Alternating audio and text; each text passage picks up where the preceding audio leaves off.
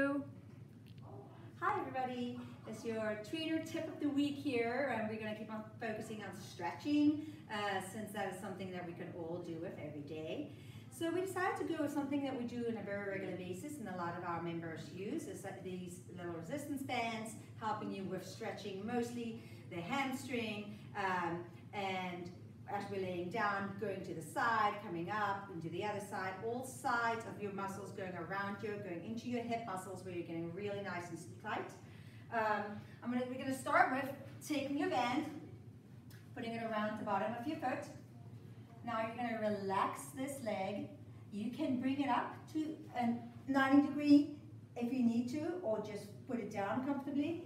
That's gonna give you some less stretching, so it's gonna make it a little easier. So if you're having a really hard time, that's what you wanna do. Otherwise, lay it down. That's gonna make it a deeper stretch. Extend your leg as much as you can. If you need to give it a bend, that's okay to start with. Taking it with one hand and bringing your foot slowly forward. You wanna make sure that your neck, your head, your spine, and your hips are all laying flat down on the mat so we're not lifting or lifting so far up that we are going with our hips off the mat. So you want to stay our hips off the mat and just move that hamstring muscle where you feel that good stretch. And you want to hold it for a nice slow count. Uh, depending on how fast you count, at least like a slow one, two, three, four, five, or faster you can go up to 10.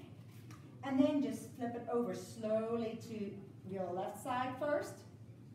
That's kind of the tough and the hard one for most people. And hold it there. You'll feel that stretching on the side of your leg, going right up into your hip. Going right back up, and then open to the other side, getting the inside of your leg. You'll bring it back slowly up.